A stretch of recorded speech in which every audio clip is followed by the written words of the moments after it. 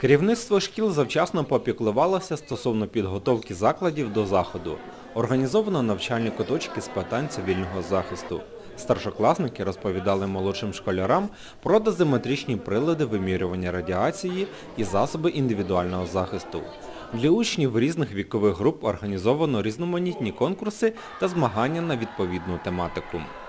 Е, Не тільки в цій школі, але взагалі у всіх загальноосвітніх закладах навчальних міста Житомира з початку року навесні проводиться День цивільного захисту для ознайомлення дітей з спецтехнікою, для ознайомлення дітей, що таке пожежа, що таке надзвичайна ситуація, щоб діти е, не розгубилися, а могли відреагувати в тій чи іншій ситуації е, так, як має бути це, а не злякатися, тобто і не знати, що робити. Аби ближче познайомити дітей з діяльністю Державної служби з надзвичайних ситуацій, учням продемонстровано відеофільм.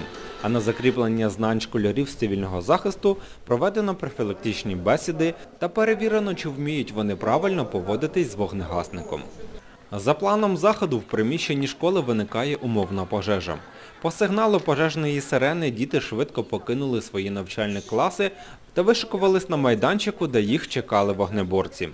Співробітники ДСНС продемонстрували пожежно-рятувальну техніку та її можливості. Учні приміряли справжнє бойове спорядження, а деяким навіть пощастило спробувати гасити уявне займання за допомогою пожежного ствола. Е, Кожен рік в нас проводяться такі заходи, там де ми можемо дізнатися е, про е, якісь незвичайні ситуації, що в них робити.